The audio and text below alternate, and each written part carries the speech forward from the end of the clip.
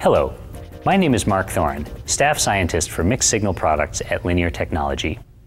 I'm going to show you the latest addition to Linear's line of voltage output digital to analog converters, the LTC2668. General purpose DACs address a wide range of applications, including instrumentation, industrial controls, and setting voltages and currents in all manner of analog circuits. Linear's lineup includes resolutions and channel counts from 8-bit singles to 16-bit octals, but what if you need a plethora of DACs? The LTC 2668 is a revolutionary product featuring 16 16-bit DACs in a very tiny 6x6mm 40-pin QFN package with a rich set of features.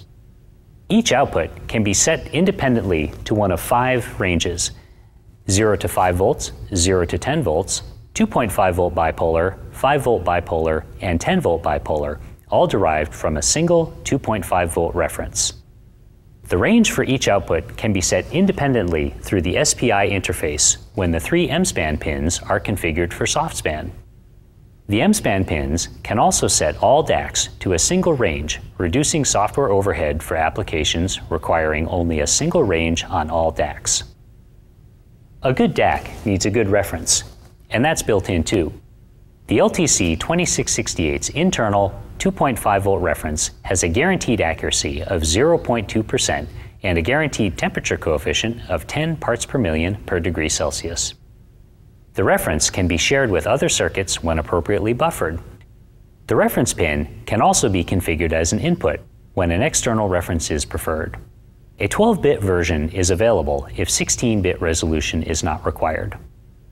The supply voltages are flexible, if all DACs are set to the unipolar 5 volt range, then only a single 5 volt supply is required.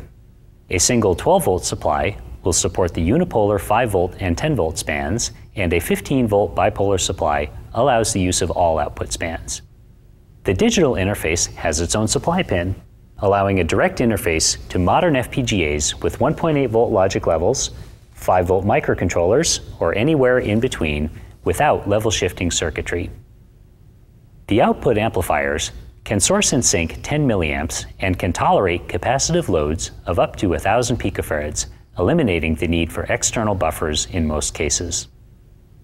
The monitor multiplexer allows any single channel to be measured at the mux pin. This function would normally require a large external high voltage multiplexer, but it's built right into the LTC 2668. This can be used for channel-by-channel calibration or to detect excessive loading by external circuits. Another useful feature is the toggle function. Each DAC has two data registers that can be written independently. Once written, all DAC outputs can be set to either register through a single SPI command or by the toggle pin. Now it's time for some demonstrations. The LTC 2668 is very easy to evaluate with the demo board and accompanying software. The control panel exposes all of the LTC 2668's features and allows you to set the voltages and spans for each channel. Here, we've set the DAC outputs to a staircase of voltages from minus 5 volts to plus 10 volts in 1 volt steps. An Agilent 34401A meter is measuring the MUX output. Scrolling through the Monitor MUX channels allows each channel to be measured by the meter for this demonstration, which could be an onboard ADC in your application. Note the accuracy of the levels. Without performing any calibration, no channel is more than 15 millivolts outside of the expected value over the 20 volt range. The toggle view allows the A and B registers for each DAC to be loaded.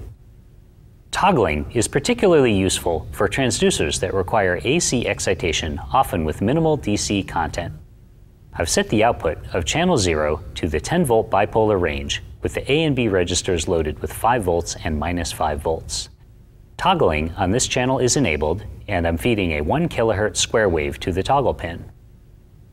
With the meter set to measure DC voltage, you can see that the DC content of the signal is extremely small.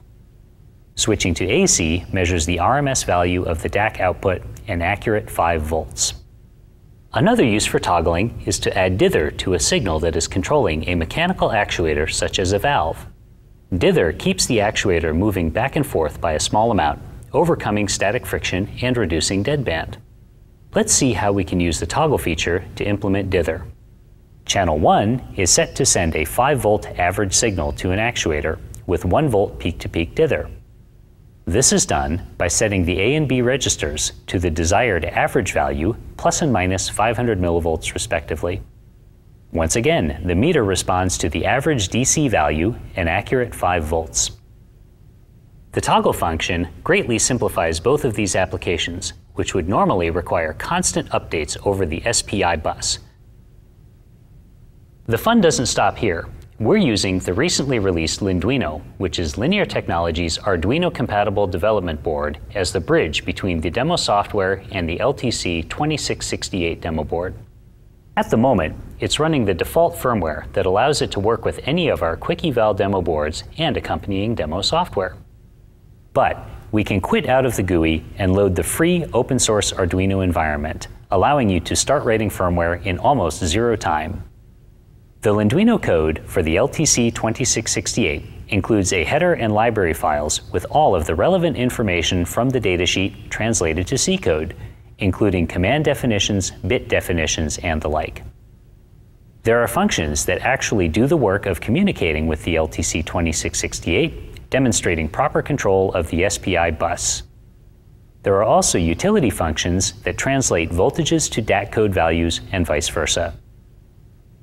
Finally, the top-level demonstration program lets you test out the library functions with a simple terminal interface.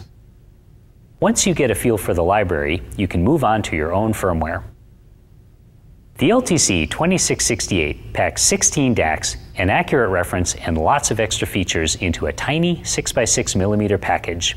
The demo board and software will allow you to easily test it in your own applications, and the Linduino code will give you a head start on firmware development.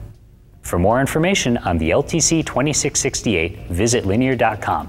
Thank you.